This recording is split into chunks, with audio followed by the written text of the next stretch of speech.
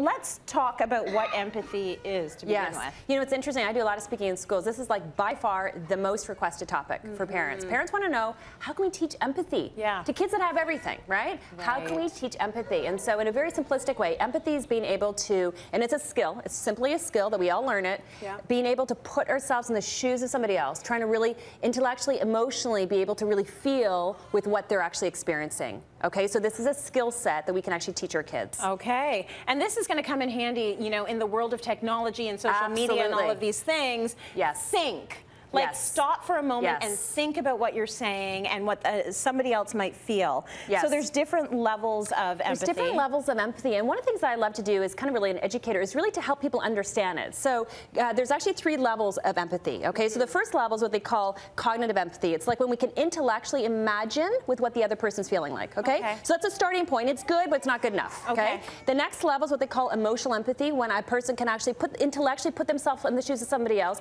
They can feel the emotion.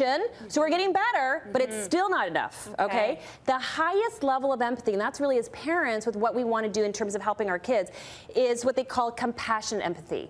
And that's when you can actually intellectually put yourself in the shoes of somebody else. You can feel the emotion, but the most important thing is they do something about it. Right. They take action. They yeah. act. Yeah. So it's not good enough to just feel bad. Mm -hmm. It's an important thing to really teach empathy to our kids is we have to actually show them an action step. Really good. Yeah. Okay. Really that's a important. good way of breaking it down. You're saying there's so many benefits to kids, teens, adults for learning empathy. So. Oh my goodness. The research is amazing. There's yeah. so much research right now on empathy, which is kind of part of social emotional learning. They find that kids who actually who have higher levels of empathy, there's increased helping, increased cooperation, relationships, health overall, yeah. decreased aggression decreased violence, and one of the other things that's really interesting is also increased memory in academics. There's a correlation oh, between empathy and actually academics, and part of the thinking behind it is that when somebody is emotionally all filled up, they have more mental capacity to focus on their schoolwork. Oh. Isn't that interesting? Yeah. And so there's a whole movement that's actually happening right now, really actually equipping and teaching kids how do we do this. Mm -hmm. So emotionally they're better, but also academically they're going to be better as well. That is so cool. Yeah. I love that. Okay, it's how do cool. we teach it then? Okay, so there's two main ways. Number one, um, it is super important that children feel empathy from parents. Mm -hmm. You know, it's one of the things that you we can kind of teach it intellectually, but kids have to experience that we are empathizing with them. Right. Okay, so that's kind of like number one. But the other way that we can do it, which is super powerful, is to look for opportunities. Where can we, as adults, as moms, as dads, where can we actually basically um, exercise that compassion, empathy?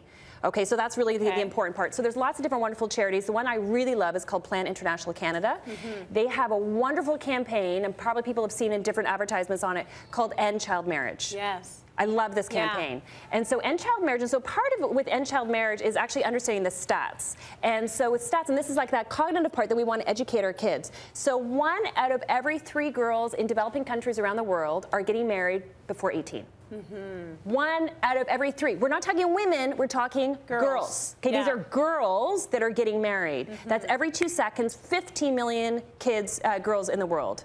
This is a global problem. This is a you know human rights issue in terms of how it impacts kids in terms of girls, reducing their opportunities for education. Right. You know, uh, potential areas in terms of abuse and relationships. So this is this is one particular um, opportunity in terms of actually really taking action, exercising that compassion, empathy, and doing something with our children. It's probably something a lot of people, uh, you know, are not thinking about on a daily basis in our world, in our area of the Absolutely. world, because we're thinking, oh, we're fighting for things like equality yes. in the workplace. We're yes. fighting for things like equality in pay. We're not thinking about child marriage. Child so marriage. it's really good to bring that to the forefront yes. um, and talk to your kids about these issues out there. So you introduce right. topics at the they, intellectual they, level, yeah, right? Yeah. And you teach the stats because it's really important, and then yes. creating an opportunity to do something. Right. Okay. This is really, and that's that compassion, empathy, is yes. to actually to do something about and it. And we should be doing that. We should be, we should Absolutely. be guiding our children yes. down that path. We're not sitting back and waiting for them to say, right. well, you know, if they do say it, it's yes. great. Yes. But we need to guide them down Correct. that path of Correct. how do you feel about this issue? What do you think should be done about it? What can we do about it in our little world, right. in our little space on the planet? Right. What exactly. can we do?